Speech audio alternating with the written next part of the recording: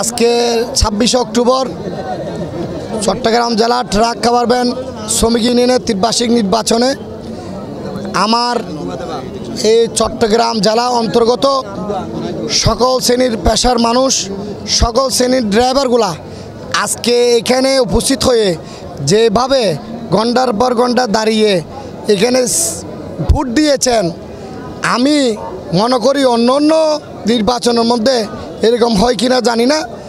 Chittagong truck খাবার van শ্রমিক ইউনিয়নের প্রতি এই সংগঠনে যারা শ্রমিকরা আছে ড্রাইভাররা চা- চালকরা আছে ওরা অন্ত মানে কি খুবই আন্তরিক। আমি চট্টগ্রাম জেলার ট্রাক খাবার শ্রমিক ভাইদের উদ্দেশ্যে বলতে চাই মেসেজ দিতে চাই আজকে আল্লাহ রহমতে আজকের এই ভোটের জয়ের মালা যারা পড়বেন মনে করি আগামী নেতৃত্বের মধ্যে উজ্জ্বল নক্ষত্র আসবে। ঠিক ঠিক। উজ্জ্বল উজ্জ্বল নক্ষত্রটা কি? যারা দীর্ঘদিন এই সংগঠনের শ্রেণি পেশার মানুষের সাথে যোগাযোগ করে নাই শ্রমিকদের খোঁজখবর নেয় নাই শ্রমিকদের খোঁজখবর নেয় নাই আল্লাহর রহমতে এই শ্রমিকের যে তিরানব্বই জন প্রার্থী হয়েছেন এই তিরানব্বই জন প্রার্থী সব মানুষকে জাগ্রত করেছে। আমার এই নির্বাচন এত সুন্দর লাগতেছে মাসাল্লাহ এই পরিবর্তন আসবে এটা কেন? যারা আগে নেতৃত্ব পূর্বের নেতৃত্ব ছিল তারা শ্রমিকদের খোঁজখবর নিত না। শ্রমিকদের পক্ষে কথা বলতো না। তারা বুবা হয়ে গেছে। তারা বুবা হয়ে গেছে। শ্রমিকদের পুলিশের হরানি এবং নন ড্রাইভার আর এই শ্রমিকদের পক্ষে এই অ্যাক্সিডেন্ট ব্যাপার নিয়ে, এই কল্যাণ ফান্ডের ব্যাপার নিয়ে বিভিন্ন সমস্যা জর্জরিত। আজকের নির্বাচনের মধ্য দিয়ে আগামীকাল যে ডিক্লারেশন হবে, আমি মনে করেছি এই ডিক্লারেশনের মধ্যে দিয়ে চট্টগ্রাম জেলার ট্রাক ভ্যান শ্রমিক ইউনিয়নের যারা নেতৃত্বে আসবেন, আল্লাহর রহমতে একটা সংগঠিত একটা সংগঠিত মানে মোটামুটি ইয়া হবে। যোগ্য নেতৃত্ব। আসবে এবং সাথে সাথে সক- সকল শ্রমিক পেশার মানুষদেরকে বলতে চাই, যেভাবে দাঁড়ে দাঁড়ে বুটের দাঁড়ে দাঁড়ে যেভাবে প্রার্থীরা গিয়েছেন, সবাই সজাগ থাকবেন। এইখানে অনেকে ষড়যন্ত্র করার চিন্তা ভাবনা করতেছে। আশা করি এখানে কোনো ষড়যন্ত্র হবে না। আমি মনে করি আল্লাহ রহমতে নিরপেক্ষ, সুস্থ একটি নির্বাচন হবে এবং সাথে সাথে আরেকটি মেসেজ দিতে চাই। আল্লাহর রহমতে আমি যদি এই আল্লাহ যদি এই পাগলটাকে যদি কবুল করে, চট্টগ্রাম ট্রাক খাবার ব্যান শ্রমিক ইউনিয়নের মধ্যে আমার ইস্তেহার ছিল, দক্ষিণ চট্টগ্রামের মানুষের জন্য আমি একটা অ্যাম্বুলেন্স দেব এবং যারা বয়স হয়ে গেছেন, তাদেরকে একটা বয়স্ক ভাতার ব্যবস্থা করা। এবং কি?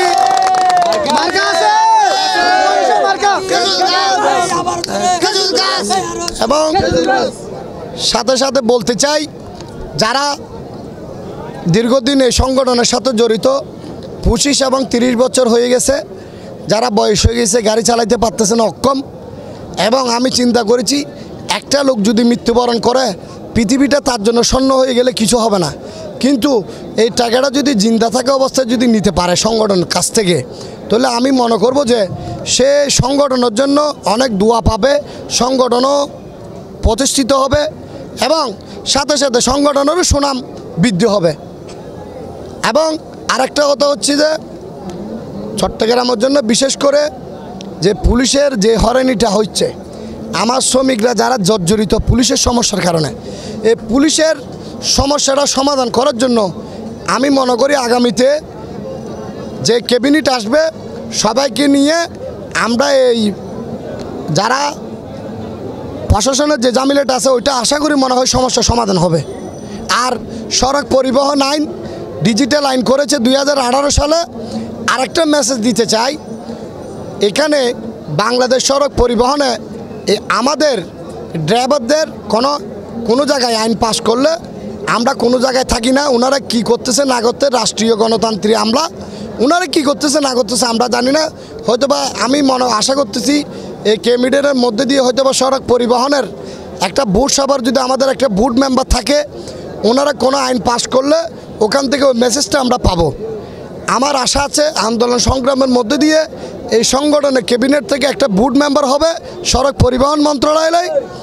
আর দ্বিতীয় কথা হচ্ছে যে যে আইনটা করেছে, আমরা চেষ্টা করব সরকারের বিভিন্ন উপর মহলে আলোচনা করে আমার শ্রমিক ভাইদের যে পাশের কথা বলা হয়েছে, তিনশো দুই চৌত্রিশ দণ্ডবিধি এবং পাঁচ বছর, দশ বছরের সাজার যে ব্যাপারটা বলে বলেছেন।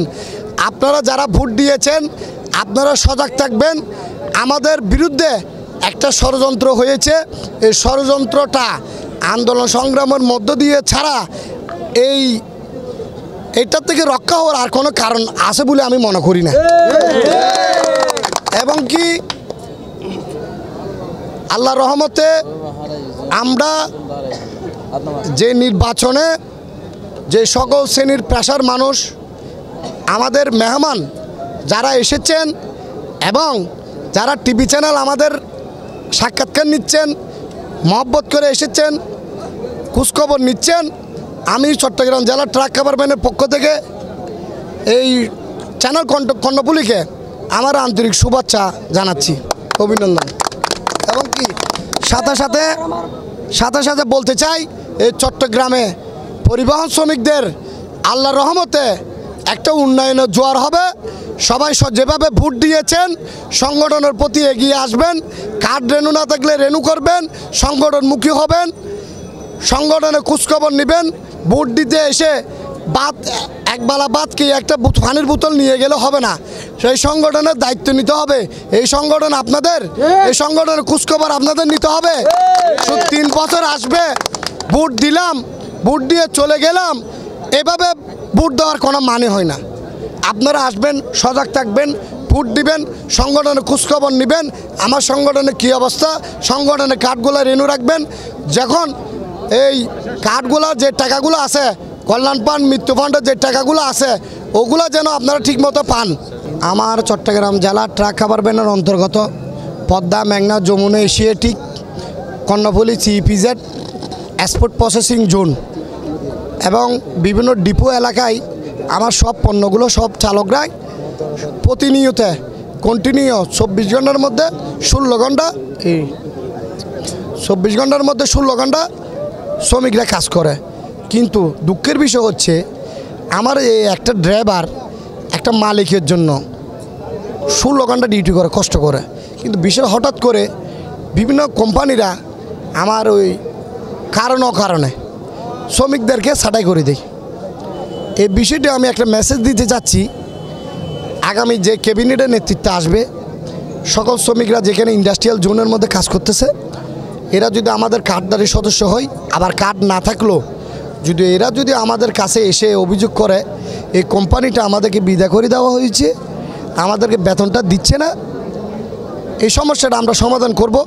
এবং সমাইনে বলা আছে যে, আপনি যদি কোনো জায়গায় যদি কোনো শ্রমিককে বিদায় করেন, তিন মাস তেরো দিনে যে মজুরি দেওয়ার কথা আছে, বলা আছে, ওইটা যদি আমরা সাংগঠনিকভাবে যদি এটা যদি মালিকদেরকে নিয়ে দিতে পারি, শ্রমিকদেরকে নিয়ে দিতে পারি তাহলে অন্তত পক্ষ হলো একটা শ্রমিক স্বস্তি নিঃশ্বাস পাবে।